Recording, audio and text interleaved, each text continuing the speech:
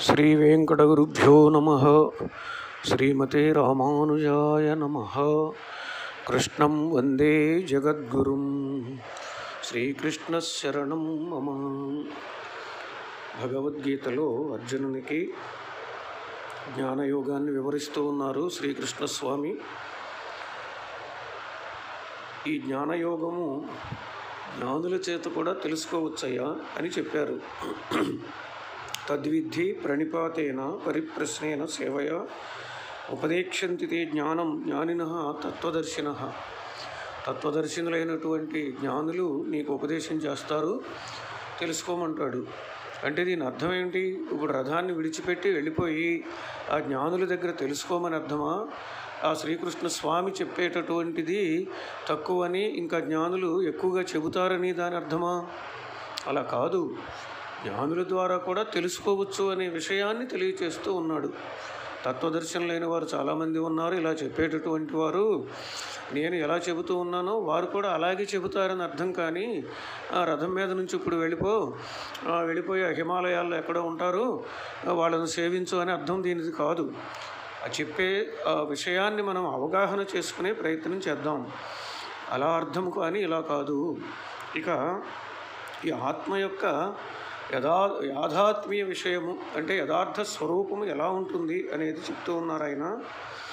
యజ్ఞాత్వా న పునర్మోహం ఏం యాస్యసి పాండవ ఏన భూతాని అశేషేణ ద్రక్షసి ఆత్మని అధోమయీ. ఓ అర్జున సమస్త ప్రాణులను మీయందు తర్వాత నాయందు చూడగలిగినటువంటి జ్ఞానము కలిగిన తరువాత నీకు ఎటువంటి మోహము కలగదయ్యా. నీ వీరిని చూసినప్పుడు నేను చంపుతూ ఉన్నానని వారు చనిపోతూ ఉన్నారని ఒక మోహం కలిగింది నీకు. తెలుసుకోవాల్సింది ఏమిటి అని అంటే సమస్త ప్రాణులు కూడా అంటే జీవులందరూ కూడా నీ యందు చూడాలి నా ఎందు చూడాలి అంటూ ఉన్నాడు ఆయన. ఏంటండి? ఇది ఆయన ఎందు చూడటం ఏంటి? సమస్త జీవులని ఆ తర్వాత పరమాత్మ ఎందు చూడటం ఏమిటి అంటే ఈ జీవులందరూ కూడా ఒకే రకమైనటువంటి వారు అని తెలుసుకోవటం. యత తవ అన్యేషాంచ భూతానాం ప్రకృతి వియుక్తానాం జ్ఞానైకారతయా ఏకాకారతయా సామ్యం. ప్రకృతి సంసర్గ దోష వినుర్ముక్తం ఆత్మస్వరూపం సర్వం సమం ఇది చ వక్ష్యతే. భగవానుడు చెప్పడంలో అభిప్రాయం ఏమిటండి అని అంటే ప్రకృతి వియుక్తములైన ఆత్మలు అంటే ప్రకృతిని విడిచిన తర్వాత ఆత్మలు అన్నీ కూడా సమానంగానే ఉంటాయి. ఆత్మల యొక్క స్వరూపం అంతా ఒక్కటే అని చెప్పటం అర్థము. ఒకటి అని అంటే మరి అన్నీ కలిసి ఒకటి అని అర్థం కాదు. ఇప్పుడు ఒక చతుర్ముఖ బ్రహ్మ శరీరాన్ని తీసుకుంటే గొప్పవాడు అని మొత్తం ఈ సృష్టిలో ఆయనలో ఉన్న ఆత్మ ఏకకణజీవి చాలా చిన్నది ఏదైతే ఉన్నదో దానిని తీసుకుంటే దాన్ని స్తంభ అంటారు సంస్కృతంలో. ఇక దానికంటే చిన్నది ఇక లేదు. దానిలో ఉన్నటువంటి ఆత్మ కూడా అది ఏ ఎంత ఉంటుందో చతుర్ముఖ బ్రహ్మలో ఎంత ఉంటుందో దీనిలోది కూడా అంతే ఉంటుంది అని అర్థం. అంతే తప్ప శరీరాన్ని బట్టి ఆత్మ యొక్క స్వరూపము మారదు. ఏనుగులో పెద్దది ఉండి అలాగే చతుర్ముఖ బ్రహ్మలో ఇంకా పెద్దది ఉండి అలా ఉండదు. అన్ని ఆత్మలు సమానమే. ఇది తెలుసుకోగలుగుతావు. నీ ఆత్మ ఎలా ఉంటుందో అందరయ్యే అంతే. ఇది జ్ఞానము వరకే తప్ప కనిపించేది కాదు మరలా. ఇక్కడ ద్రక్షసి చూస్తావు అని అంటే అర్థం ఏంటి? తెలుసుకుంటావు అనే కానీ అది కనిపించేది కాదు. ఎందుకని? ఇప్పుడు సామాన్యంగా మనకి ఈ యొక్క మన ఆలోచనలు మన ఇంద్రియములు మన అణువు మనస్సు కూడా ఇవన్నీ అణువులే. ఇవేమైనా కనిపిస్తూ ఉన్నాయా? కాళ్ళు చేతులు ముక్కు ముఖం కనిపిస్తూ ఉన్నది. మరి నేను అనేది ఏమన్నా కనిపిస్తూ ఉన్నదా మనకి? అది కనిపించేది కాదు తెలుసుకోవటం తప్ప.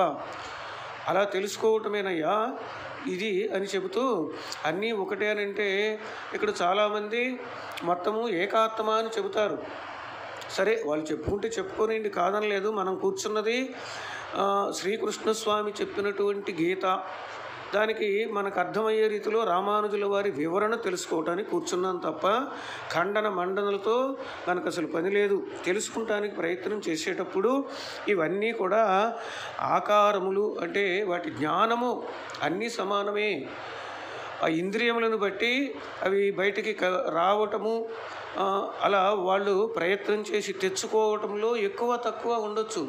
ఇదే జ్ఞానయోగము అని అంటే అంటే జ్ఞానయోగము కర్మయోగము రెండు చెప్తూ ఉన్నాడు స్వామి రెండు కలిసి ఒకటేను అని చెబుతూ ఉన్నాడు. మరి అంతే కదా? ఇప్పుడు ఒక శరీరము ఉన్నది దానిలో ఒక జీవుడు ఉంటాడు ఆ జీవుని లోపల దేవుడు ఉంటాడు. అది ఏ శరీరమైనా సరేనండి ఏకకణజీవి స్తంభైనా అంతే చతుర్ముఖ బ్రహ్మైనా అంతే. ఇది తెలుసుకోవటం అనేటటువంటిది జ్ఞానము. ఇక ఈ చేసేటటువంటి పనులను ఫలమును విడిచి చేసేటటువంటిది కర్మయోగము అని చెబుతాడు. ఇవి రెండు కూడా సమానమేనని చెప్పుకుంటూ వస్తున్నాడు వారిని. ఇక్కడ చెప్పిన దాన్ని మరొక ఉదాహరణతో చూద్దాం. ఎలాగూ అంటే ఇప్పుడు తిరుపతి పోయాం. లడ్లు దర్శనం అయిపోయింది లడ్లు తీసుకోవాలి కౌంటర్కి వెళ్ళాం. మరి చాలా కౌంటర్లు ఉంటాయి కింద కొన్ని పైన కొన్ని అలా. ఏ కౌంటర్ అయినా ఒకటేనండి అన్నారు. ఏ కౌంటర్ అయినా ఒకటేనంటే అర్థం ఏంటి? లేదా అన్ని కౌంటర్లు ఒకటేనండి అంటే అర్థం ఏమిటి? అన్నీ కలిసి ఒక్కటేనని అర్థమా? కలిసిపోయినాయా? మరి ఏ లడ్డు? కొన్ని వేలు లక్షలు లడ్లు చేస్తూ ఉంటారు. అన్నీ ఒకటేనండి అని అంటే అర్థం ఏంటి? అన్నీ కలిసి ఒక్కటేని అర్థమా? ఈ లడ్డు ఎలా ఉన్నదో ఆ లడ్డు అలాగే ఉంటుంది. దాన్ని ఏదో తయారు చేయటంలో కొంచెం పెద్దది చిన్నది ఉండొచ్చు. అది కాదు అర్థం. అక్కడ అవన్నీ ఒక్కటి అని అంటే మొత్తము లడ్లన్నీ కూడా కలిసి ఒక్కటి అని కాదు. అలాగే ఇప్పుడు ఈ- ఈ భోజన హోటళ్ళలో ఆ పెరుగు పెట్టడానికి వాళ్ళు గిన్నెలు ఒకే రకమైనటువంటి గిన్నెలు ఆ గిన్నెలలో పాలు పోసి తోడు పెడతారు. ఇవన్నీ ఒకటేనండి అంటారు. అంటే ఏంటి అర్థం? అన్ని గిన్నెలు కలిసి ఒక్క గిన్నెనా? ఆ గిన్నె ఎట్లాంటిదో ఈ గిన్నె అట్లాంటిది. నువ్వు వచ్చి ఆ వడ్డించేటటువంటి వానికి ఏ గిన్నె ఇచ్చినా ఒకటేను అని అర్థమే కానీ అన్నీ కలిసి ఒకటని కాదు కదా. అలాగే ఒక శ్రీరామనామకి పానకం పోస్తూ ఉన్నారు. గ్లాసుల్లో పోశారు. ఏదైనా ఒకటే అంటారు. లేదు అన్నీ ఒకటే అంటారు. అప్పుడు అర్థం ఏంటి? ఒక్కటేని అర్థమా? అన్నీ సమానమని అర్థం అంతే. అలాగే ఇక్కడ కూడా అంతే. ఆ ప్రకృతి వియుక్తములైనటువంటి ఆత్మ ఆకారములన్నీ కూడా సమానముగా ఉంటాయ్యా అర్జున.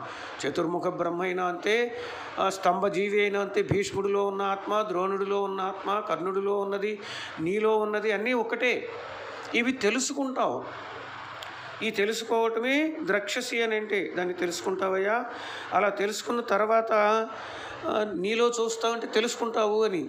అధో మయి నా ఎందు కూడా చూస్తావు. అంటే ఈ ఆత్మలు ప్రతి ఆత్మలోనూ నేనుంటా. అంతర్యామిగా ప్రతిదాని ఎందు కూడా నేను ఉంటాను.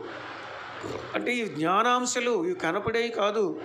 ఈ జ్ఞానం అనేటటువంటి అంశం ఏమన్నా కనపడుతుందో? ఆ జ్ఞానము. ఈ ప్రకృతిలో కూడా అణువులన్నీ ఒకటైతే కనపడతాయి. ఏ అణువులకు అణువులు విడిపోయినాయి అనుకోండి ఏది కంటికి కనపడదు.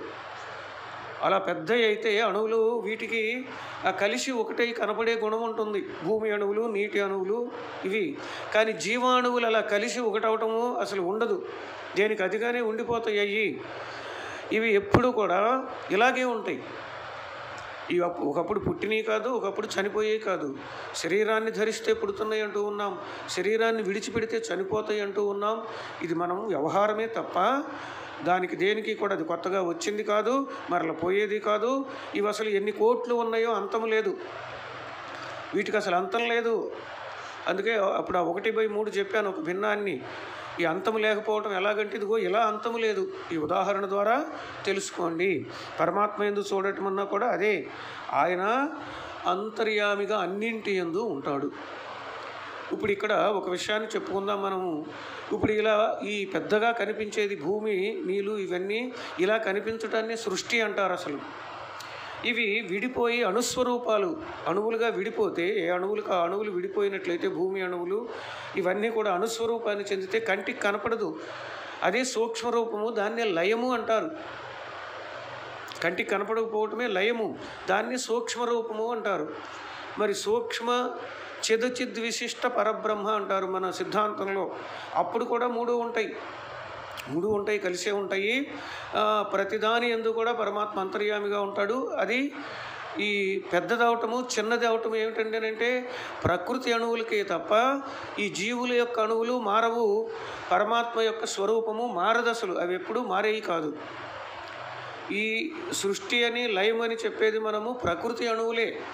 ఇవన్నీ కలిసి పెద్దగా అయితే సృష్టి అంటాం. అప్పుడు కనపడుతూ ఉంటాయి. మరి ఇవన్నీ కలిసి సూక్ష్మ రూపానికి చెందితే లయము అంటాం. ఇంతే ఏ వస్తువు ఎక్కడికి పోదు. ఎన్ని అణువులతో ఏర్పడి ఉన్నదో అన్నీ ఉంటాయి ఇక్కడే.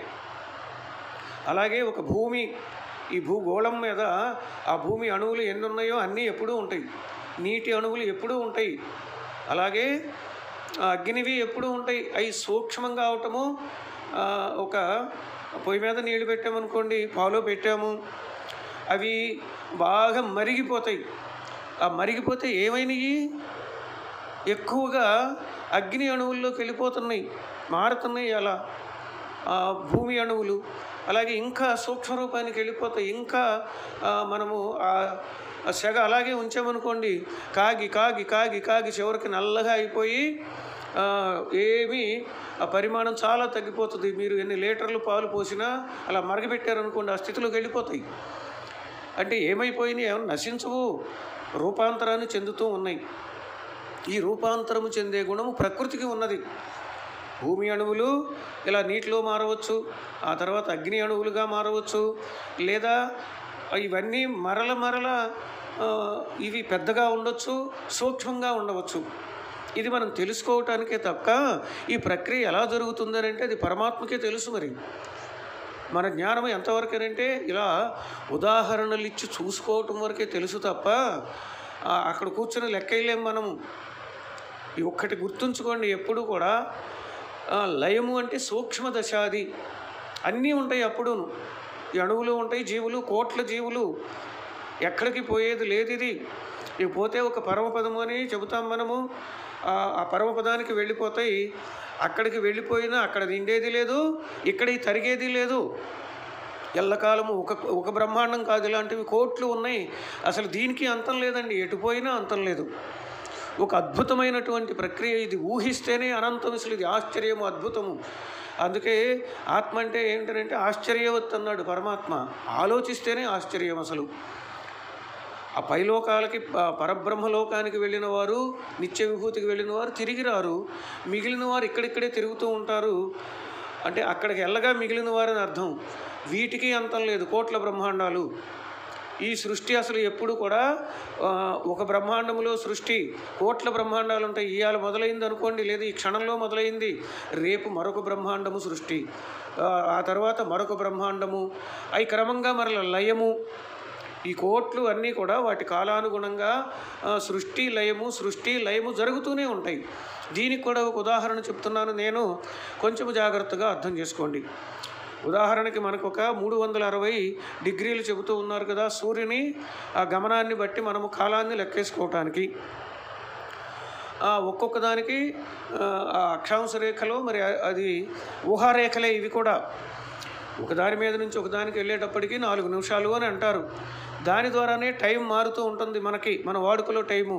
ఇప్పుడు భారతదేశం ప్రకారంగా ఒక ఆరు గంటల టైము అయ్యింది అనుకుందాం. లేదా గ్రీనిచ్ రేఖ ఏదో ఒకటి పెట్టారు మనకి అక్కడ ఆరు గంటలు అయింది అనుకుంటాం. దానికి అటు ప్రక్కనే ఒక్కొక్క ఈ ఈ టైం తగ్గుతూ ఉంటుంది. అంటే ఆరు గంటల యాభై ఆరు నిమిషాలు. అవతల రేఖకు వెళితే ఐదు గంటల యాభై ఆరు నిమిషాలు. అలా తగ్గుతూ వెళ్ళిపోతూ ఉంటాయి. ఒక నాలుగైదు నిమిషాలు అటు తగ్గుతూ ఉంటాయి. నూట ఎనభై అటు ఉంటాయి ఒక నూట ఎనభై ఇటు ఉంటాయి. ఈ భూమి అర్ధగోళంగా సృష్టించి ఊహిస్తే ఇటు వచ్చాయి వరుసనే పెరుగుతూ ఉంటాయి. ఆరు గంటల నాలుగు నిమిషాలు ఆరు గంటల ఎనిమిది నిమిషాలు ఆరు గంటలు పన్నెండు. ఇలా పోయి మరలా అక్కడ పన్నెండు గంటలు సుమారుగా నూట ఎనభై వరకు వెళ్ళిపోతాయి కదా. ఇలా ఇటు ప్రక్క పెరుగుతూ ఉంటుంది అటు ప్రక్క తరుగుతూ ఉంటుంది. మళ్ళీ అటు తిరుగుతూ ఉంటుంది మళ్ళీ అటు ఇటు వస్తూనే ఉంటాయి. అందుకే ఈ రేఖాంశముల మీద ఉన్నటువంటివి ఇటుపక్క టైము ఈ గ్రీనిచ్ రేఖ నుంచి ఇటుపక్క పెరుగుతూ ఉంటుంది అటుపక్క తరుగుతూ ఉంటుంది. అందుకే ఈ- ఈ స్టాండర్డ్ టైములు తీసుకుని చెప్పుకుంటారు. భారతదేశంలో టైం ఇంత అమెరికాలో టైం ఇంత ఇంగ్లాండ్లో టైం ఇంత. ఇలా ఈ టయాలు చెప్పుకుంటూ ఉంటారు. ఇది నిరంతరం జరిగే ప్రక్రియ కదా. అలాగే బ్రహ్మాండములు కూడా ఈ సృష్టి అంటే ఒకటి బయటకు వచ్చింది అనుకోండి మరికొన్ని లైవ్లో ఉంటాయి. ఇప్పుడు మనకి అవతలే కనపడవు కదా. ఆ కనపడని అన్నీ లైవ్లో ఉన్నాయి అనుకోండి ఈ వరుసని ఇటెళ్ళేవి కూడా మనకంటే ఆ తర్వాత ఉన్నాయి కూడా మనకు కనపడవు కదా. అలాగే ఒకటి కొన్ని కోట్లు బ్రహ్మాండాలు మొదలైనవి జరుగుతూ ఉండేవి దినప్రలయాలు జలప్రలయాలు అన్నీ జరుగుతూనే ఉంటాయి. ఎప్పుడు కూడా పూర్తిగా ఏమీ లేకుండా పోయేదంటూ ఎప్పుడు ఏ కాలంలోనూ లేదు. కనుక ఈ జగత్తు మిథ్య అనేటటువంటిది బయట ప్రపంచంలో లేదండి. తన మనసులో అనుకోవటమే. ఏది పరమాత్మ గొప్పవాడని అతడిని ఆశ్రయించడానికి నువ్వు వెళ్ళవయ్యా అని ఆ శంకర భగవత్పాదులు వారు చెబుతారే తప్ప ఇదంతా అసలు ఏమీ లేనిదా? మీరు సైన్స్ ప్రకారం చూస్తే లేదు వైజ్ఞానికంగా చూసినా భారతీయ సిద్ధాంతమైనా లేదు అసలు ప్రపంచంలో ఉన్న సిద్ధాంతమే ఏ ఒక్కటి ఎప్పుడూ కూడా అసలు పోయేదంటూ లేదు. ఎంత భూమి వచ్చిందో అంతే ఉంటుంది. ఒక బ్రహ్మాండంలో ఎన్ని అణువులు ఉన్నాయో అన్నీ ఉంటాయి ఎప్పుడు కూడా. అవి మారుతూ ఉంటాయి నీటిగా అగ్నిగా ఇలా లయము చెందటువంటి కనిపించకుండా పోతూ ఉంటాయి. అవి ఒక దాంట్లో ఒకటి కలవచ్చేమో కానీ జీవాణువులు అలా కలవండి. ఒక దాంట్లో మరొకటి కలిసే అసలు స్థితే లేదు కనుక ఇది ఎప్పుడూ జీవుడు ఒక దాంట్లో ఒకటి కలిసేవాడు కాదు. అలాగే అన్నీ పోయి పరమాత్మలో ఏకమైపోయి కలిసిపోవటం అని అంటే అక్కడ ఉంటాయి. అక్కడ ఉండటమే దేని ఆకారంతో అదే ఉంటుంది. లైమ్లో అన్నీ ఉండటంలా మొత్తం అణువులే ఉంటున్నాయి. సృష్టిలో మళ్ళీ అణువులే ఉంటున్నాయి. కొంచెము మనసు పెట్టి కొద్దిగా ఆలోచన చేసి దీనిని అర్థం చేసుకోవటానికి ప్రయత్నించండి. ఇదే జ్ఞానము. ఒక్కొక్క ఒక్కొక్క విషయంలో ఎంతో నిగూఢంగా ఉంటుంది. అవగాహన చేసుకోవటము మనం చేయాల్సిన పని. పెద్దలు చెప్పినది. కనుక ఈ శ్లోకం దగ్గర చెప్పింది ఏమిటయ్యానంటే ఈ మొత్తం అన్నీ కూడా జ్ఞాన ఏకాకారములయ్యా అన్నీని. దేనికి కూడా తక్కువ లేదు. చతుర్ముఖ బ్రహ్మలో ఉన్నదాని జ్ఞానశక్తి ఎంతో ఆ, ఏకకణ జీవిలో ఉన్నదానిది అంతే. అది బయలుపడటానికి ఆ దేహాలు ఉపకరిస్తూ ఉంటాయి ఇంద్రియాలు ఉపకరిస్తూ ఉంటాయి అంతే. ఇది తెలుసుకోండి. అప్పుడు సమానం అనేటటువంటిది ఏమిటంటే ఇది. అలాగే ప్రహ్లాదుడిని గురించి కూడా చెబుతారు కదా పోతన గారు. తన యందు అఖిల భూతములందు ఒక భంగి సమహితత్వం జరుపువాడు. తన యందు అఖిల భూతముల యందు కూడా సమానమైనటువంటి హితము మేలుని చేసేటటువంటి వాడు అన్నాడు. అంటే తనకి ఏది మేలో ఎదుటివాడికి అదే మేలు. తనకి ఏది కష్టమో ఎదుటివాడికి అదే కష్టం తెలుసుకో. ఇదే విషయాన్ని మనకి విదురుడు కూడా చెబుతాడు ధృతరాష్ట్రునితో. ఒరులేయవి యొనరించిన నరవర అప్రియము తన మనంబునకగు. తా నొరులకునవి సేయకునికి పరాయణము పరమధర్మ పదములకెళ్ళన్నన్నాడు ఆయన ఇతరులు ఏమి చేస్తే నీకు బాధ కలుగుతుందో అలాగే నీవు కూడా ఇతరులకి అవి చేస్తే బాధ కలుగుతుందయా ఆ పనులు అది తెలుసుకో అలా తెలుసుకొని తా నొరులకు అటువంటి కష్టములు కలిగించే చేయకుండా ఉండటమే పరమ ధర్మము అన్నాడు ఈయన. పరాయణము శ్రేష్టమైన ధర్మము. ఈ ధర్మ పదములలో ఇదే శ్రేష్టము అంటాడు. అలా ఇలా తెలుసుకోవటమే తెలుసుకున్నప్పుడు నీవు హాని చేసేదేంటి? ఆ భీష్ముడి ఆత్మకు నువ్వు హాని చేసేదేంటి? నువ్వు చేయలేవు కదా ఆ శరీరము. ఆ శరీరం పోతుంది అంతవరకే. ఆ శరీరం వల్ల ఆ భూమి అణువుల్లో వెళ్ళిపోతాయి. భూమి అణువులు భూమిలోకి నీటి అణువులు నీటిలోకి దేని అణువులు దానిలోకి వెళ్ళిపోతూ ఉంటాయే తప్ప ఏవి ఎక్కడికి పోయేది లేదు. దీనికోసమై దుఃఖించవలసిన అవసరం లేదు అని చెబుతూ ఉన్నాడు స్వామి. శ్రద్ధావాన్ లభతే జ్ఞానం తత్పర సంయతేంద్రియ జ్ఞానం లబ్ధ్వా పరాం శాంతిం అచిరేణ అధిగచ్చతి మరి ఇది ఎలా తెలుస్తుందయ్యా అంటే ఈ జ్ఞానము తెలుసుకోవటానికి శ్రద్ధ కావాలి అన్నాడు ఆయన. శ్రద్ధ కావాలి. ఈ శ్రద్ధ ఉండి తత్పరుడు కావాలి అంటే విషయాన్ని తెలుసుకునేవాడై ఆ యథార్థమని నమ్మేవాడు కావాలి. ఆ తర్వాత సంయత ఇంద్రియ ఇంద్రియములను నియమించినట్లయితే జ్ఞానము చాలా సులభంగానే దొరుకుతుంది సుమా. ఆత్మజ్ఞానం పొందుతావు ఆత్మజ్ఞానం పొందటం అని అంటే ఏంటి? అదేదో వచ్చి పడుతుందని అర్థం కాదు. తెలుసుకుంటావు. అలా తెలుసుకోగానే నీకు శాంతి కలుగుతుంది. ఇంతే కదా? అసలు ఇంతే కదా అని తెలిసిపోతుంది నీకు. అటువంటి వాడు ఎవడైనా సరే నీవే కాదు ఎవడైనా కూడా అలా చాలా త్వరగా ఈ శాంతిని పొందుతాడు అని చెప్పాడు ఆయన. అజ్ఞశ్చ అశ్రద్ధధానశ్చ సంశయాత్మ వినశ్యతి. నాయం లోకోస్తి నపరో న సుఖం సంశయాత్మన. మరి అందరూ ఎందుకని తెలుసుకోలేకపోతూ ఉన్నారండి? మరి అందరూ తెలుసుకోవచ్చు కదా అని అంటే స్వామి చెప్తూ ఉన్నాడు ఎవరు తెలుసుకోలేరు? ఎవరంటే అజ్ఞుడు తెలుసుకోలేడయ్యా. అంటే ఎంత చెప్పినా వినడు వాడు. ఎంతమంది చెప్పినా కూడా వినడు. ఇక అశ్రద్ధధానుడు అంటే తెలిసి కూడా ఆచరించడు. రావణాసురుడిలాగా. రావణాసురుడికి తెలుసు. కానీ వాడు నన్ను రెండుగా కోసినా సరే అటు చెక్క ఇటు చెక్క పడతాను కానీ నా నమేయం అంటాడు నేను వంగను అంటాడు. వీడు అశ్రద్ధధానుడు.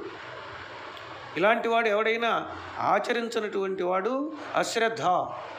ఈ ఇద్దరూ కూడా ఈ జ్ఞానాన్ని పొందలేరు. అలాగే మరొకడున్నాడు సంశయాత్మ. అంటే ప్రతిదానికి సందేహమే. ఇది నిజమేనా? అసలు ఇది నిజమేనా అని ఏదో చెబుతున్నాడు. ఏదో చెబుతున్నాడు. అంతేగాని ఇది నిజమా? నేను చెప్పినా అంతే. ఇంకా ఎవరు చెప్పినా? మా గురువుగారు చెప్పినా అంతే. శ్రీకృష్ణస్వామి చెప్పినా అంతే. రామానుజులు వారు చెప్పినా అంతే. ఇది నిజమేనా? ఇది నిజమేనా? వాడికి ఎక్కడైనా సరే ఇది నిజమేనా? సంశయాత్మ. మరి ఏమవుతారయ్యానంటే వాళ్ళిద్దరూ ఎప్పటికైనా వస్తారట. అజ్ఞుడికి ఎప్పుడో ఒకప్పుడు తెలుసుకోగలుగుతాడు. తర్వాత ఈ అశ్రద్ధధానుడు అంటే త్వరలేనివాడు ఉన్నాడే. వీడు కూడా ఏదో వాడిని తోమగా తోమగా వాడు తెలుసుకుంటాడు చేయటానికి మొదలు పెడతాడు. ఈ సంశయాత్ముడు ఉన్నాడే. వీడికి అసలు ఇక సుఖము లేదు. ఈ లోకంలో సుఖము లేదు పరలోకంలోనూ సుఖము లేదు అన్నాడు ఆయన. సంశయాత్ముడు మాత్రం నశించిపోతాడు అని చెబుతున్నాడు. కనుక సందేహాన్ని విడిచిపెట్టండి. ఇప్పుడు మనం చేయాల్సింది ఏమిటి ఇక్కడ? ఇది పొందాలి అంటే అసలు మొదలు సందేహం వదిలేయండి. శ్రీకృష్ణ స్వామి చెబుతూ ఉన్నాడు. అదే భగవద్ రామానుజులు వారు వివరిస్తూ ఉన్నారు.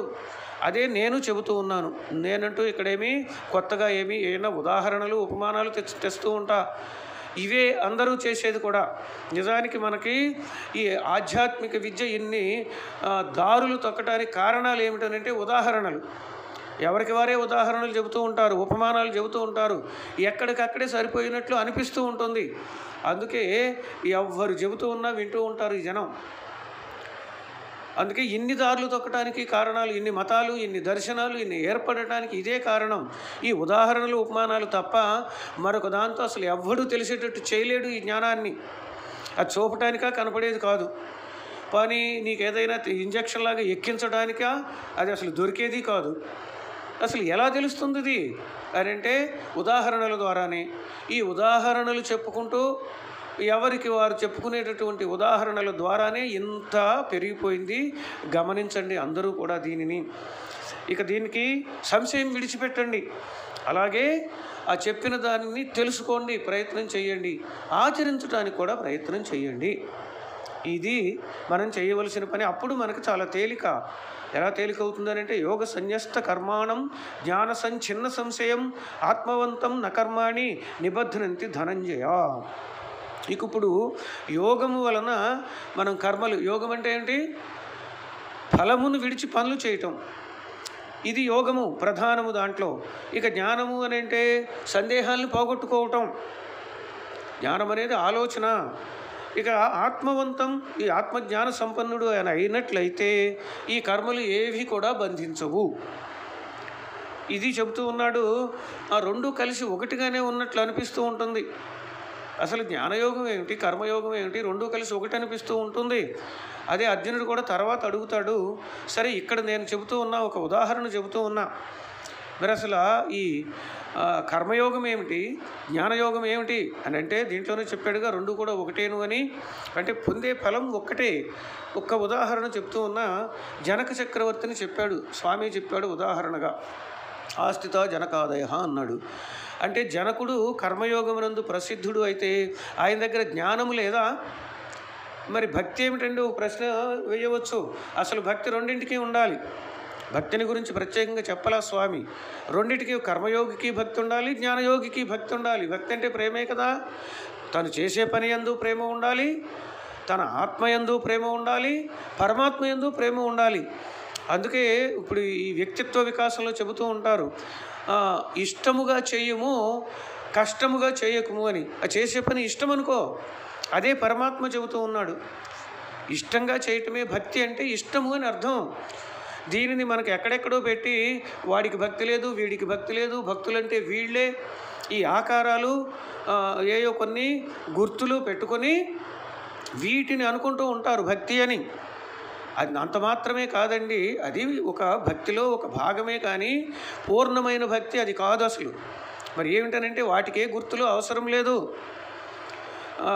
వాసుదాస స్వామి వారు చెప్పారు ఈ భక్తి అనేది ఏమిటి? ఆ పరమాత్మ ఎందు భక్తి అది ఎలా ఉంటుంది? దాని గొప్పతనం ఏమిటి అని. అది ఒకసారి చెప్పుకుందాం. ఆయన కూడా వాల్మీకి రామాయణాన్ని తెనిగించి దానికి మందరము అనే పేరుతో ఒక వ్యాఖ్యానం కూడా రాశాడు ఆయన. ఆ మొదటి బాలకాండలో చెప్పాడు ఈ సంగతి. ఆ భక్తి ఎలాంటిదో చెప్పాడు ఆయన. ఇష్టమంటే ఏంటో చెప్తూ ఉన్నా పరమాత్మ ఎందుంటే భక్తి అంటే ఏంటో చెప్తూ ఉన్నా. ఆమ్నాయ పఠనంబులడవి ఏడ్పులే కదా తావక భక్తి అభావమైన నిఖిలోపవాసముల్ నిగిడి చచ్చుటకెగా తావక భక్తి అభావమైన అఖిల తీర్థ స్నాన మగచాట్లకే కదా తావక భక్తి అభావమైన పట్టె నామంబులు భయపెట్టుటకి కదా తావక భక్తి అభావమైన నీదు భక్తిలేమి నిఖిలంబు వ్యర్థంబు ప్రాణహీనమైన వపూభంగి నీదు భక్తి కలిమి నిఖిలంబు వ్యర్థంబు నది తరించు పిదప నావయట్లా ఒకసారి విందాం దీని అర్థాన్ని కూడా. ఆయన ఏం చెప్తూ ఉన్నాడు? ఆమ్రాయ పఠనములు నీ భక్తి కానీ లేకపోతే వేదములను చదవటము పారాయణలు చేయటము అడవిలో ఏడ్పు వంటివి. నీ భక్తిలే అడవిలో ఏడుస్తూ ఉంటే ఏంటి ప్రయోజనం? ఊళ్ళో ఏడిస్తే ఎవరైనా ఓదారుస్తాడట. అడవిలో ఏడిస్తే ఓదార్చేవాళ్ళు లేక ఏ పులి వచ్చి లడ్డు మింగినట్టు మింగేస్తుంది. అదిగో అలా ఏ దోషముతోనో స్వరదోషమో ఏ దోషంతోనో బ్రహ్మరాక్షసులు అయ్యి నాశనమైపోతుంటారు. నిఖిల తీర్థస్న నిఖిలోపవాసములు నిగిడి చచ్చుటకిగా ఉపవాసములు చేస్తూ ఉంటారు. అది పుణ్యము ఇది పుణ్యము అంటూ నీ భక్తి లేకపోతే ఏమవుతుందంటే ఈ ఉపవాసాలు నీ లోపల ఉన్నటువంటి లోపల ఉన్న ఆ శక్తి చచ్చిపోతుంది ఉపవాసం ద్వారా. అలాగే అఖిల తీర్థ స్నానం చాలామంది అబ్బో అసలు తీర్థాటనలు ఎన్నో ప్రకటనలు ఇస్తూ ఉంటారు. ప్యాకేజీలు దాంట్లో తర్వాత ఇది పర్సంటేజీలు ఎన్నో తీర్థ తీర్థాలు ఆ తీర్థ స్నానాలు పుణ్యక్షేత్రాలు అంటూ పోతూ ఉంటారు. ఇది ఏమిటి? నీ భక్తి లేకపోతే అగచాట్లు అంటే అదిగో బస్సు వెళ్ళిపోతుంది ఇదిగో రైలు వెళ్ళిపోతుంది అలా క్యూలో చేరితే తోపులాట్లు. ఇదిగో ఇలాంటివే తప్ప ఏం మిగలదు అన్నాడు ఆయన. నీ భక్తి లేకపోతే. ఇక్కడ ఇంకోటి కూడా చెప్పాడు అందరూ ఎవ్వరూ కూడా చెప్పనిది చెప్పాడు ఆయన. దమ్ముంటే మరి వినండి ఆయనని అనుసరిస్తాం మేమంటారు. అబ్బో మందరం చాలా గొప్పదండి చదవండి అంటారు. మరి వాసుదాస స్వామి వారిది అని అంటారు. ఇదిగో వినండి ఆయన ఏం చెబుతున్నాడో. పట్టె నామంబులు భయపెట్టుటకి కదా. పెద్ద పెద్ద ఊర్ధ్వపుండ్రాలు పెట్టేది. నీ భక్తి లేకుండా ఉన్నట్లయితే అది చూసి పిల్లలు భయపడతారు పెద్దవాళ్ళు కూడా భయపడతారట. భయపెట్టడానికి తప్ప ఎందుకండి ఇవి? మరి నీదు భక్తి లేకపోతే నిఖిలము వ్యర్థము అన్నాడు ఆయన. ఎలాగూ? ప్రాణహీనమైన ఉపభంగి ఆ ప్రాణాలు వెళ్ళిపోయిన తర్వాత ఆ శవం ఉంటుంది ఏమిటి ప్రయోజనం? మరి సరే శవం లాంటిది అన్నాడు శవాలంకారము అన్నారు. శ- శౌనక మహర్షి కూడా ఒక చోట చెబుతాడు విధవాలంకారం శవాలంకారం అంటూ ఉంటారు వీటిని. అలాగే మరి నీదు భక్తి ఉంటే ఉండొచ్చా అండి? నీదు భక్తి కలిమి నిఖిలంబు వ్యర్థంబు. నీదు భక్తి ఉన్నా కూడా ఇవి అర్థమే. ఎలాగంటే నది తరించు పిదపనవయట్లా ఎప్పుడైతే నీ మీద భక్తి కలిగిందో అప్పుడే వాడు మోక్ష సామ్రాజ్యానికి అధిపతి అయిపోయాడు. నదిని దాటామండి. ఆ తెప్పకర్రో ఆ నావో అది భుజానేసి పోతామా ఒడ్డున? మళ్ళీ తిరిగి వచ్చేవాడైతే ఏదో రేవు దాటి తెప్ప ఉదాహరణ అక్కడ చెబుతారు. మళ్ళీ తిరిగి వచ్చేవాడికి కావాలి. మోక్షానికి పోయేవాడికి ఎందుకండి? ఇది అవసరం లేదు కదా? మోక్షానికి పోయేవాడికి అవసరం లేదు అని ఇలా చెబుతూ ఉన్నాడు ఆయన. మరి ఒక్కసారి తెలుసుకోండి. భక్తి అంటే ఏమిటో తెలుసుకోండి. నేను అన్ని పెద్దలు చెప్పినయే చెబుతున్నా. మేము ఎంతవరకు అండి కావలసినంతే తీసుకుంటామండి. మిగిలినవి మాకు అవసరం లేదండి అనేవాళ్ళు చాలామంది ఉన్నారు. మాకెందుకండి అని. ఆ లిస్ట్ వచ్చినట్టు ప్రవర్తిస్తారు. వారిని గురించి ఎవ్వరు ఏమీ వారిని బాగు చేసేవాళ్ళు పరమాత్మ కూడా చేయలేడు. తెలిసియు తెలియని నరు తెలుప బ్రహ్మవశమే అంటాడు భర్తృహరి కూడా. కనుక అలాంటి వాళ్ళని గురించి మనం ఆలోచించవసరం లేదు. భక్తి అనేటటువంటిది ఆ ఇష్టము పరమాత్మ ఎందు ఇష్టం అన్నింటి అందు ఉండాలి. మరి ఈయన ఏమిటండి జనకుడు అని అంటే జ్ఞానభక్తి అన్వితం కర్మ జనకాదిషు దృశ్యతే. ఆయన కర్మ ప్రధానముగా ఉంటుంది కానీ ఆయన ఎందు జ్ఞానము ఉన్నది భక్తి ఉన్నది జనకుడిలో ఇష్టము ఉన్నది. ఈ రెండు సమానమని చెప్పడానికి ప్రధానంగా కర్మ కనపడుతుంది. కర్మయోగి ఆయన. అలాగే ఇక జ్ఞానయోగి కర్మభక్తి అన్వితం జ్ఞానం భరతాదిషు దృశ్యతే. ఈ జడభరతుడు ఆయన కథ తెలుసు కదా. లేడిని రక్షించి ఆ లేడిగా పుట్టి మళ్ళీ తర్వాత మూడో జన్మలో ఆయన సిద్ధిని పొందాడు. ఏది పెట్టినా తింటాడు. కర్మ చేస్తూనే ఉంటాడు ఆయన కూడా. కానీ కర్మ ఉన్నది ఆ పరమాత్మ ఎందు ఆత్మ ఎందు ఆయనకి భక్తి ఉన్నది అంటే ఇష్టము ఉన్నది. కానీ ప్రధానమైనది ఏమిటంటే జ్ఞానము. ఆయన జ్ఞానయోగి మరి ఆయన పొందే స్థానము జనక చక్రవర్తి పొందే స్థానము ఒక్కటే. ఆ సాంఖ్యులు పొందేది జ్ఞానయోగులు పొందేది ఒకటే. ఇక భక్తిని కూడా చెప్పారు. ఉదాహరణగా భక్తి రెండింటికి ఉండాలి. మనం తెలుసుకుందాం. ఈ భక్తి ఎక్కువగా ఉన్నది ఎవరిలోనూ ఇష్టం ఎక్కువగా ఉన్నది అని అంటే కర్మ జ్ఞానాన్వితం భక్తి ప్రహ్లాదాదిషు దృశ్యతే. ప్రహ్లాదుడు ఉన్నాడు. మరి ఆయనలో ఆయన పనులు చేస్తున్నాడు. ఆయనకు తెలివి ఉన్నది జ్ఞానము ఉన్నది కర్మయోగి ఆయన జ్ఞానయోగి ఆయన భక్తి ప్రధానం ఆయనలో ఉన్నది. కనుక ఇవన్నీ ఒక్కొక్క దాంట్లో ఒక్కొక్కటి ఉంటూనే ఉంటాయి. ప్రధానమైన దానిని చూసుకోవాలి. ఈ తేడా తెలుసుకోండి మరి నేను. ప్రతిసారి చెప్పలేను. అడుగడుగునా చెప్పినా కూడా ఇదే ఉంటుంది. ఎంత చెప్పినా నేను ఒక్కొక్క చోట ఏదైనా సమయం వచ్చినప్పుడు ఇలా చెప్పినటువంటివి గుర్తుపెట్టుకోండి దయచేసి. కనుక కర్మ ఒక్కటే జ్ఞానము ఒక్కటే అంటే అర్థం ఏమిటి ఇదిగో ఇది. కర్మ ప్రధానంగా చేయాలి చెయ్యాలి అని చెబుతూ ఉన్నాడు ఆయన. కనుక యోగ సన్యస్త కర్మాణం యోగము నందు ఆశ్రయించటము అంటే ఫలితమును వదిలి కర్మలు చేస్తూ ఉండటము. అది అతడు చేసే పని. అలాగే జ్ఞాన సంచిన్న సంశయం. మరి జ్ఞానం ప్రధానంగా ఉంటే ఏమవుతుందని అంటే సందేహాలను పోగొడుతుంది. అప్పుడు నీవు ఆత్మవంతం. ఆ ఆత్మజ్ఞానం ఏంటో నీకు తెలుస్తుంది. నీవు ఆత్మని కలవాడు అవుతావు. అంటే దాన్ని తెలుసుకున్నవాడు అవుతావయ్యా. నకర్మాణి నిబధ్నంతి ధనంజయ. అప్పుడు నిన్ను ఏ కర్మ బంధించదు. నీవు యుద్ధం చేసినా బంధించదు. లేదు నువ్వు ఏ పని చేసినా బంధించదు. మనకైనా అంతే. ఆయనకి అక్కడ ఉన్న ధర్మం యుద్ధము. ఇప్పుడు మనకి ఉన్నటువంటివి మనం చేసేటటువంటి పనులు. ఇవి ఏవి కూడా బంధించేవి కాదు సుమా. ఎలా తెలుసుకో? కనుక ఇప్పుడు నువ్వేం చేయాలి? ఇలా తెలుసుకున్న తర్వాత తస్మాత్ కాబట్టి అజ్ఞాన సంభూతం హృత్స్థం జ్ఞానాసిన ఆత్మన చిత్వా ఏనం సంశయం యోగమాతిష్ట ఉత్తిష్ట భారత. ఇది ఈ సంశయము అనేటటువంటిది ఉన్నదే. ఇది నీకు అజ్ఞాన సంభూతమైనటువంటిది. ఏది? వీళ్ళు ఏమవుతారు నరకానికి పోతారా? లేక పిండాలు అందవు? అని ఇలాంటివి నీకు ఏదైనా సరే ఇది కలుగుతూ ఉన్నదని అంటే అది అజ్ఞానము వలన కలుగుతూ ఉన్నదని తెలుసుకో. అర్జునుడికే కాదు మనకైనా సరే ఏదైనా ఆ పరమాత్మ విషయము ఆత్మ విషయము తెలుసుకోలేకపోతున్నామంటే అర్థం ఏమిటి? అజ్ఞానం వలన తెలుసుకున్నాం మరి ఎక్కడుందండి ఇది? హురుత్ స్థం ఎవడో కల్పించేది కాదు. నేను వాడి వల్ల చెడిపోయాను వీడి వల్ల చెడిపోయాను వీడి వల్ల బాగుపడ్డాను వాడి వల్ల బాగుపడ్డాను. ఏదో వాళ్ళు ఒక నిమిత్త కారణాలు అవుతూ ఉంటారు అంతే. కానీ నీ యొక్క హృదయమునందే ఉంటుంది అన్నాడు ఆయన. నీ యొక్క అజ్ఞానం ఎక్కడో కదయ్యా నీ హృదయంలోనే ఉంటుంది. అది మరి ఇంకేమిటి? ఆత్మ కూడా నీ హృదయంలోనే ఉంటుంది. కనుక జ్ఞానాసిన జ్ఞానం అనే కత్తి తీసుకో. ఏనం సంశయం చిత్వా. సందేహాల్ని తెగనరికై ఇది ఒక ఉదాహరణ చెబుతూ ఉన్నాడు జ్ఞానం అనే కత్తి చేత. ఈ సంశయాలు ఏది ప్రకృతిని వేరుగా చూడు. అది నేను బంధింపబడుతున్నానో అది బంధిస్తుందనో నువ్వు ఏ పని చేసినా ఇటువంటి సందేహాలని కోసేసేయి. నేను ఇంతకుముందు చెప్పినటువంటిది తెలుసుకో. ఇక యోగమాతిష్ట. యోగాన్ని ఆశ్రయించు అంటే కర్మ చేయి. కర్మ చేయాల్సిందే. జ్ఞానయోగి అయిన భరతుడు కర్మ చేశాడు. కర్మయోగి అయిన జనకుడు కర్మ చేశాడు.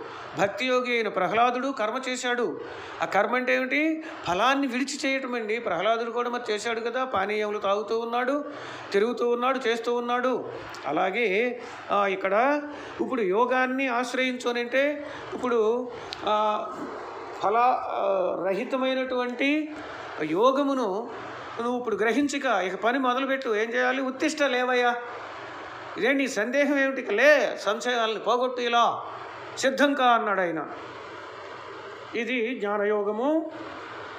ఇది శ్రీమద్భగవద్గీతాసు ఉపనిషత్సు బ్రహ్మ విద్యాయాం యోగశాస్త్రే శ్రీకృష్ణార్జున సంవాదే జ్ఞానయోగో నామ చతుర్థో అధ్యాయ. ఇది చతుర్థ అధ్యాయము గీతలలో అని చెప్పాడు స్వామి. అలాగే చిత్వా మయా ఉపదిష్టం కర్మయోగం ఆతిష్ట తదర్థం ఉత్తిష్ట. ఇదే చెప్తూ ఉన్నారు రామానుజుల వారు కూడా. తస్మాతు అనాది అజ్ఞాన సంభూతం. అనాది అయినటువంటిది అజ్ఞానము. ఎప్పుడు పట్టిందో తెలియదు మనకి. అజ్ఞానం అంటే ఏమిటండి? మనము ఈ జీవుడు కాదనుకొని దేంట్లో దూరితే అది అనుకోవటము అదే అజ్ఞానము. అలాగే ఈ ఈ శరీరములు ఇవన్నీ కూడా ఏదో శాశ్వతం అనుకోవటం. ఎవడైనా సరే శాశ్వతం అనుకుంటాడు. ఎవడి శరీరంలో ఉన్నవాడు చస్తానని అనుకోడండి. ధర్మరాజు కూడా చెప్పాడు ఈ మాట. ఆశ్చర్యమైనది ఏది అని అంటే ధర్మరాజు చెబుతాడు చచ్చిపోయిన వాడిని అలా పారవేసి వచ్చి దహనం చేయటమో ఏదో చేసి ఈ చావబోయేవాడు అనుకుంటూ ఉంటాడట. అరే క్షణంలో వెళ్ళిపోయాడే? అయ్యో అసలు నిన్న నాతో మాట్లాడాడండి. నిన్నేమిటయ్యా ఇంతకు ముందు వరకే మాట్లాడుతూనే ఉన్నాడు. అరే రే కొంచెం ఆ పిల్లలు పెళ్ళిళ్ళు చేసిపోతే బాగుండేది. ఆ అప్పులు తీర్చిపోతే బాగుండేది. లేదా అప్పులు వసూలు చేసి పెడితే బాగుండేది. ఈ లోకము ఇలా చెప్పుకుంటూ ఉంటారు. మరి వీళ్ళు చావరా అన్నాడు. చావరా? అందరూ చచ్చిపోతారు. కోపం వస్తుందేమో అందరూ చనిపోవలసిందే కదా. కానీ ఎవడికి వాడు అనుకోడు నేను చచ్చిపోతానని ఎవడు అనుకోడు. అంటే చచ్చిపోవటం అంటే దేహాన్ని విడిచిపెట్టడం.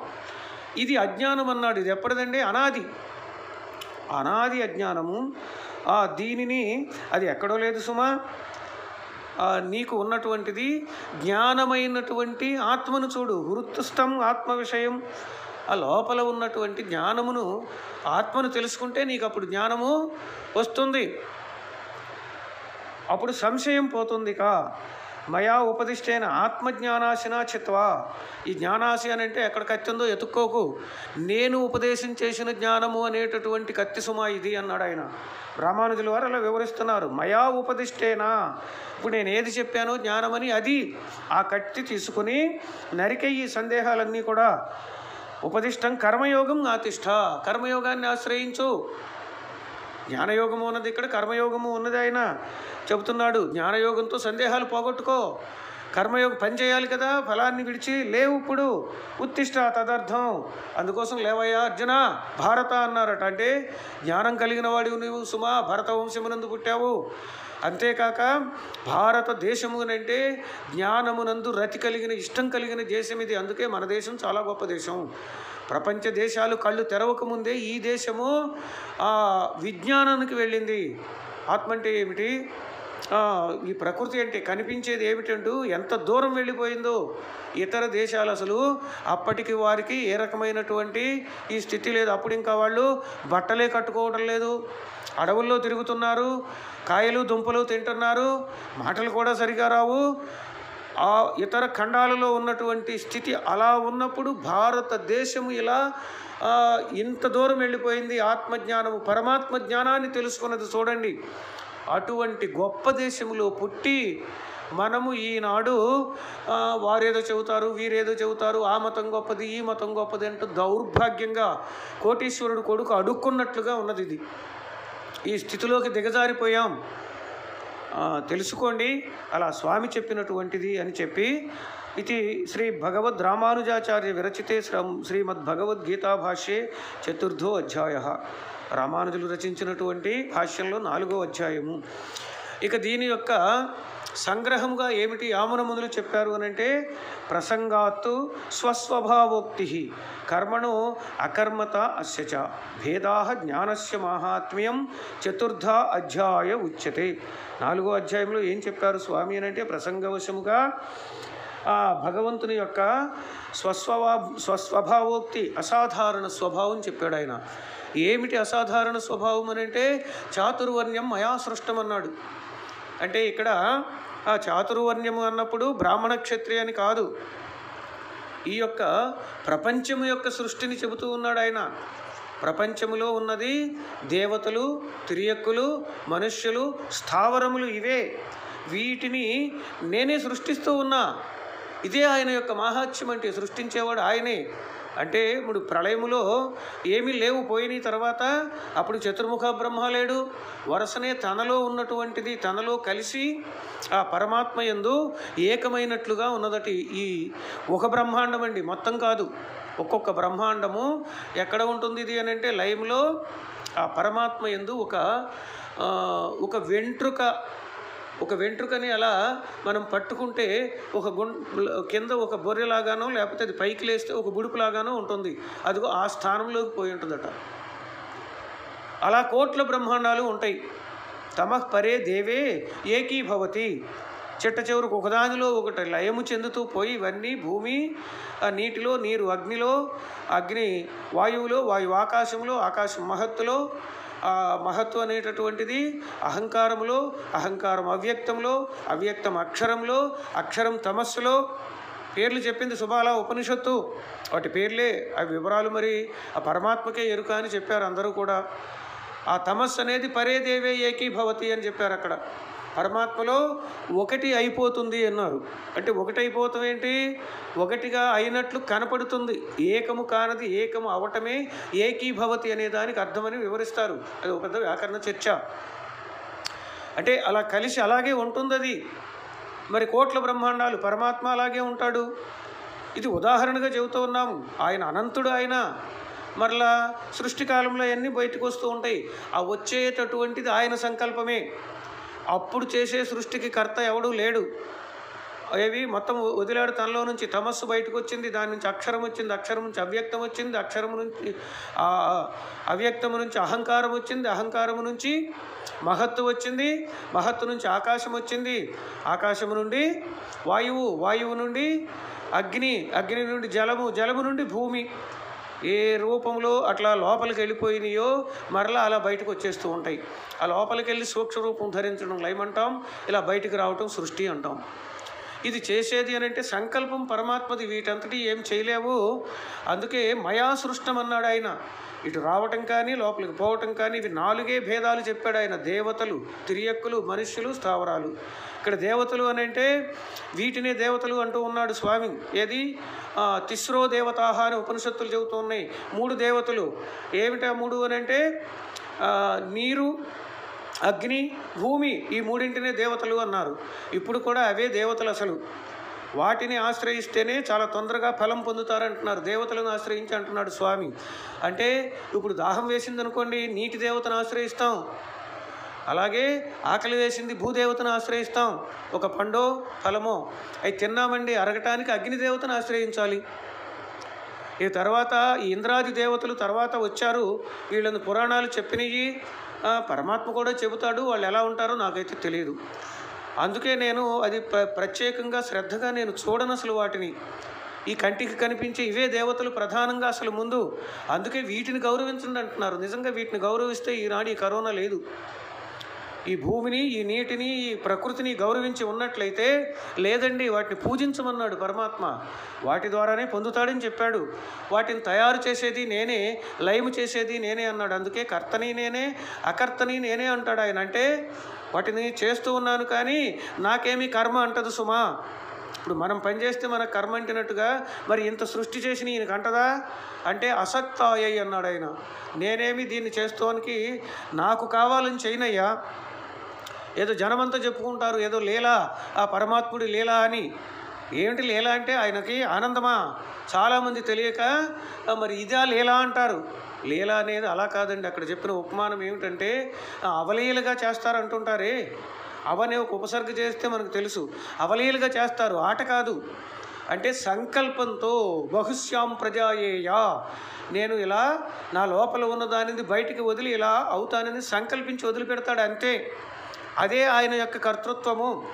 ఇక అకర్తృత్వం దీని యొక్క పుణ్యపాపాల ఫలితాలు ఆయనకేం పని లేదు ఇవన్నీ బయటికి వచ్చేస్తాయి. ఏ జీవులకి ఆ జీవుల ఇంద్రియాలు మనస్సు వచ్చేస్తుంది. పూర్వకల్మలు అన్నీ కూడా తగులుకుంటాయి.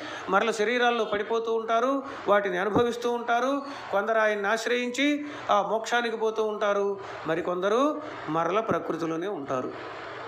దీనికి ఉన్నది ప్రమాణము. ఆ ఉపనిషత్తు చెప్పింది యతోవా ఇమాని భూతాని జాయంతే ఏన జాతాని జీవంతి యత్ప్రయంతి అభిసంవిశంతి తద్విజిజ్ఞాసస్వ తద్బ్రహ్మ. తైత్రీయ ఉపనిషత్తు చెప్పింది. ఏమిటనంటే ఇవి కనిపించేదంతా కూడా ఎవని వలన పుడుతూ ఉన్నదో ఎవని వలన ఈ స్థితి కలిగి ఉన్నదో ఎవనిలో అలా మళ్ళీ చేరుతూ ఉన్నదో లైకాలమునందు అభిసంవిశంతి. ఆ తర్వాత రెండోది కూడా చెప్పారంటే కొన్ని మోక్షానికి పోతూ ఉంటాయి. ఆయనలో చేరిపోయి అంటే ఆయన ఆయన లోకానికి పోతూ ఉంటాయి. తద్విజిజ్ఞాసస్వ. అదిగో దాని గురించి నువ్వు ఆలోచించవయ్యా. తద్ బ్రహ్మ అదే బ్రహ్మ అంటే ఇది అతి సులువుగా చెప్పాడు గజేంద్రుడు. పోతన గారు కూడా చెప్పారు ఇదే ఎవ్వని చే జనించు జగము ఎవ్వని లోపల నుండు లీనమై ఎవ్వని ఎవ్వని లోపల నుండు లీనమై ఎవ్వని ఎందుడిందు చాలు ఇక్కడ ఇది తెలుసుకోండి ఎప్పుడు కూడా ఇదే ఆయన యొక్క మాహాత్మ్యము అని అంటే చాతుర్వర్ణ్యము అని అంటే ఇదేనండి. ఈ మనుష్యులకి కర్మలు ఉంటాయి. కర్మల వలన ఏర్పడేది పద్దెనిమిదో అధ్యాయంలో చెబుతాడు. అక్కడ వివరం చెప్పుకుందాం. ప్రసంగవశము చేత తన స్వభావోక్తిని చెప్పాడు అన్నారు యామునాచార్యులు. అంటే తన మాహాత్మ్యమును చెప్పాడు ఇలా. దీని వెనక ఉండేటటువంటి వాడిని నేనేనయ్యా. మొత్తము బ్రహ్మాండములు కోట్ల బ్రహ్మాండములు ఒక్కటి కాదు. అనంతమైనటువంటి ఈ విభూతి అనంతమైనటువంటి నిత్య విభూతి ఇవన్నీ కూడా నావే అన్నాడు. మరి ఎంత మహాత్మ్యమో పరమాత్మ తెలుసుకోండి. అలా చెప్పి ఆ తర్వాత అసాధారణ స్వభావం చెప్పి ఆయన కర్మలో అకర్మత్వము అకర్మత్వములో కర్మభేదాలు జ్ఞానము యొక్క మహాత్యము వివరించారు ఈ నాలుగో అధ్యాయంలో అన్నారు. కర్మ చేస్తూ జ్ఞానయోగాన్ని చూడటము అని. అకర్మ అంటే జ్ఞానయోగం కర్మ అంటే కర్మయోగం. పని చేయకపోవటం కాదు. అకర్మ అంటే ఇతరులు ఎన్నో అర్థాలు చెబితే చెప్పి ఉండొచ్చు. మనకు అనవసరం ఇవన్నీ. స్వామి చెప్పినవి భగవద్ రామానుజులు వారు వివరించినవి చెప్పుకున్నాం. కర్మ అంటే ఫలమును విడిచి పని చేయటము. అకర్మ అంటే జ్ఞానాంశం హెచ్చుగా ఉండటము. అది కూడా ఇంతే. ఈ కర్మయోగము ఇంత ఇంతకుముందు చెప్పినట్టే. తెలిసి తెలియటం అందరికీ సమానమే. కర్మాంశ పనులు చేయటం ఎక్కువ ఉండేవాడు కర్మయోగి జ్ఞానాంశ ఎక్కువగా కలిగినటువంటి వాడు జ్ఞానయోగి అని దీంట్లో మనం తెలుసుకోవలసింది అని చెప్పారు స్వామి.